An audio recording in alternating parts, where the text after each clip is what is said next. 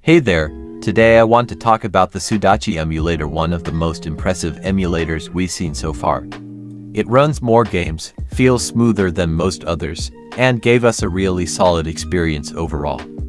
But here's the thing, development for Sudachi has now been discontinued. The developer had to step away from the project due to a busy schedule. Even so, Sudachi remains a great emulator that many gamers still enjoy today. So let's take a look back and see why this one stood out from the rest.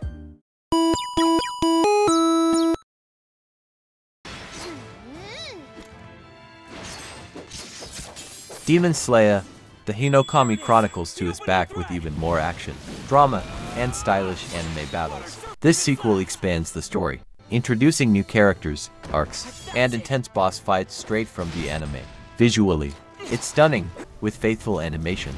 That feels like you're watching the show in motion. The combat is fast, fluid, and easy to pick up, or go head-to-head -head in online multiplayer, but still rewarding when you master each character. You can fight solo, take on the story mode, new mechanics, like tag team combos and enhanced abilities. Keep battles fresh and exciting.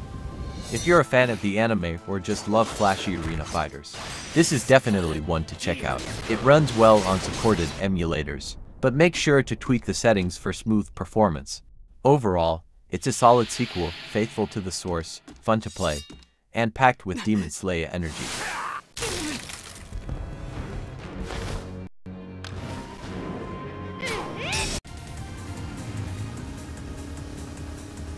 Azure Striker Gunvolt Trilogy Enhanced brings together three high-speed 2D action games in one complete package. If you're a fan of games like Mega Man Zero or classic pixel shooters, this one's definitely for you. Each title in the trilogy features tight controls, flashy skills, and anime-inspired storytelling. You'll play as Gunvolt, a super-powered soldier who uses lightning-fast attacks to take down enemies in style. The enhanced version adds better visuals, smoother performance, and refined mechanics. Each boss fight feels intense, with patterns to dodge and flashy special moves to unleash. There's also a deep upgrade system, letting you customize your playstyle as you progress. If you're playing this on emulator, expect solid performance on most mid to high-end phones. Overall, it's a fast, flashy, and fun trilogy, perfect for fans of stylish action platformers.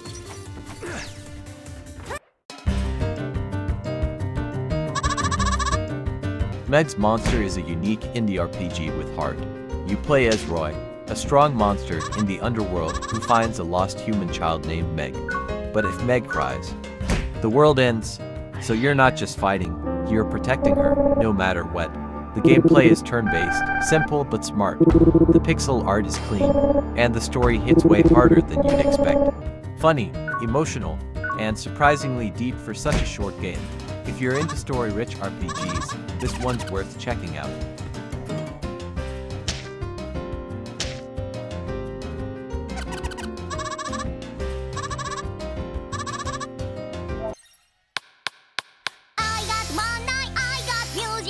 Groove Coaster Future Performers is a rhythm game that hits different, with flashy visuals, pulse-bounding tracks, and simple one-touch controls. It's easy to jump into, but hard to master.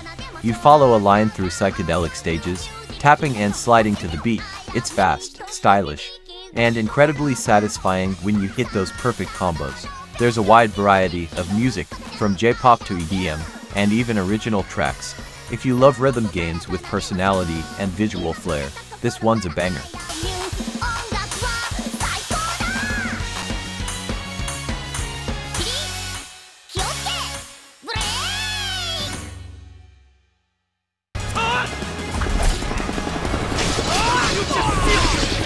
Shinobi Art of Vengeance is a fast-paced ninja action game with brutal combat and stealth mechanics. You play as a silent warrior on a path of revenge, slicing through enemies with deadly precision. The combat is fluid and satisfying, combining swordplay, throwing weapons, and quick dodges.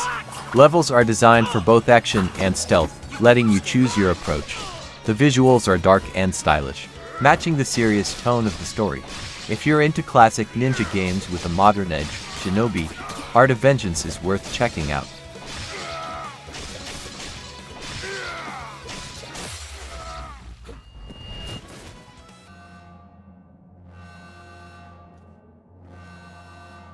The SCP Foundation universe is a deep and mysterious world of horror and science fiction. It's built around classified files, strange creatures, and experiments hidden from the public eye. Each SCP tells a different story. Some are creepy, some are disturbing, and some are straight up mind bending. There are no cheap jump scares here, just eerie atmosphere and unsettling lore. If you're into dark mysteries and weird science, this universe is something you should definitely explore.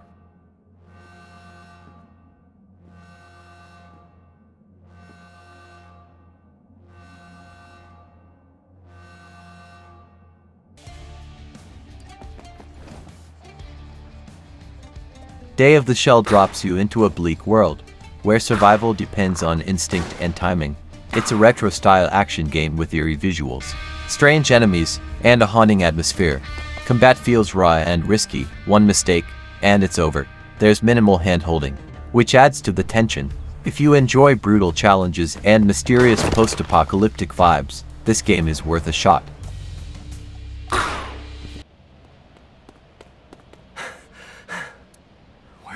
No Sleep for Kaname Date takes you into a twisted world of dreams, secrets, and murder.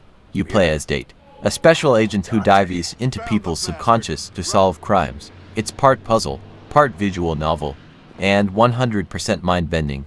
Each dream is surreal, with bizarre logic and hidden clues. If you love detective stories with emotional depth and sci-fi twists, this game will hook you hard.